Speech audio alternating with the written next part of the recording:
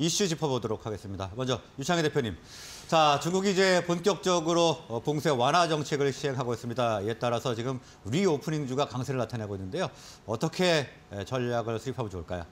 어, 저는 이 이슈는 조금 더 갈 수 있지 않을까 판단하고 있어요. 왜 그러냐면 지금 12월 들어서 좀 시장에서 놀라는 것 중에 하나는 놀란다기보다는 뭐 그냥 생각했던 것보다 좀 빠르게 움직인 것 중에 하나는 일본이 YCC 통제를 확대를 좀 높였다라는 거 하고 중국이 생각했던 것보다 빨리 어, 코로나 봉쇄를 어, 완화하고 있지 않나.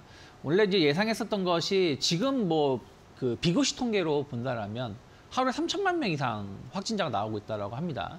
뭐 천만 명 예상했던 것에 한 세 배 이상 나오고 있는 것인데 그러면 이제는 원래는 약간 부분적인 통제를 조금 더 강화하고 다시 또 어, 통제 완화를 하지 않겠냐는 어떤 우려 이런 전망이 있었는데 오히려 더 광폭 행보를 하고 있지 않나.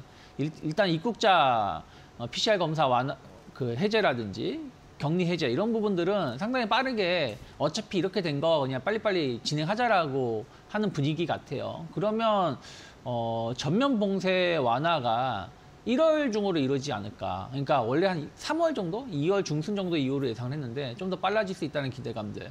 그러면 해외 여행자들도 빠르게 늘어날 수 있다라고 생각을 좀 하고 있습니다. 춘절 긴 연휴 동안 고향으로 갈 수도 있겠습니다만 고향보다도 해외 여행을 가는 사람들이 많아진다. 그러면 우리나라 여행 관련된 섹터가 수혜를 입을 수 있다 생각을 좀 하고 있어요. 좀 보다 빨리 실적 개선이 이루어질 수 있지 않을까 판단하고 있기 때문에 저는 일단은 뭐 카지노 섹터 좀 더 자세히 볼 필요 있다. 그동안 GKL이 일본 관광객의 반사 이익이 크기 때문에 GKL을 좀 봤다라면 이제는 좀 파라다이스를 좀 주목해서 볼 필요 있지 않을까 생각하고 있고요. 또 면세점 관련해서도 호텔신라 중심으로 해서의 어 일단은 추세 전환을 좀 기대해 볼 수 있지 않을까 생각하고 있습니다.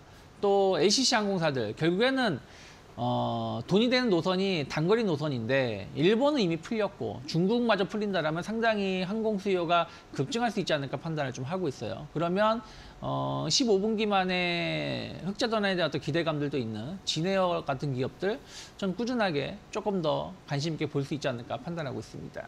네, 리오프닝주 조금 더 갈 수 있을 것으로 예상을 해주시면서 카지노 섹터, LCC 관련주 주목할 필요가 있다 이렇게 분석을 해주셨습니다. 다음은 정호영 원장님, 아까 잠깐 말씀을 해주셨는데 예. 중국의 굴착기 시장이 부활을 하고 있다고 합니다. 어떤 전략 준비하면 좋을까요? 자, 맞습니다. 2023년도 어, 상반기는 여러분들은 하나만 알고 계시면 정말 제 주식으로 어느 정도 어, 부를 축적하지 않을까 생각입니다. 중국입니다. 중국, 중국. 머릿속에 중국만 생각하시면 여러분들 상반기에는 정말 좋은 성과를 올리지 않을까 생각합니다. 그 이유는 한 가지 키워드를 알려드리도록 하겠습니다. 어, 제가 한 달 내내 이 방송에 나와가지고 중국 이야기 하다 보니까 제가 뭐 중국 사람이 아니냐 하는데 저 한국 사람입니다. 음, 예. 자, 이유는 알려드리도록 하겠습니다. 자, OECD부터 시작해가지고 블룸버그 그리고 어, 이 미국의 IB 쪽에서 나오는 어, 올해 경제 성장률이 어, 3.2, 3.0, 중간값이 3.2, 3.0입니다. 그런데 지금 어, 미국, 어, 중국의 정부 정책 당국에서 2023년 그리고 2024년 그 4분기 기준으로 해서 5%, 4.9에서 5% 끌어올리기 위한 모든 포석을 지금 포지션을 맞추고 있습니다. 그 이야기는 뭐냐?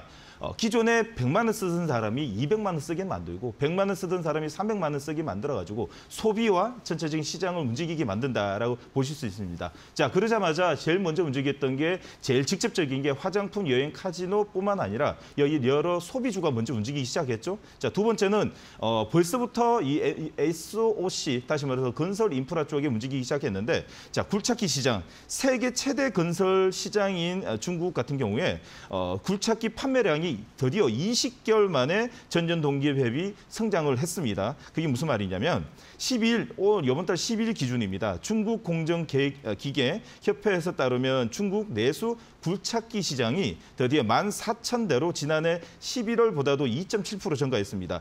2021년 상반기 어, 3월 이후에 20년, 어, 20개월 만에 플러스로 돌아섰다라는 걸 볼 수 있는데 거기에 있어가지고 건설 인프라 중심의 어, 중국 정부의 대대적인 경기 부양책이 효과를 나타냈고 앞으로도 지속적으로 지금 발주로 나오는 걸 보게 되면 이제는 SOC부터 시작해가지고 원자재, 기자재, 어, 중국에 들어가는 전 세계의 어, 이 물동량 이 시장이 이제 초점을 중국으로 맞추지 않을까라는 생각이 듭니다.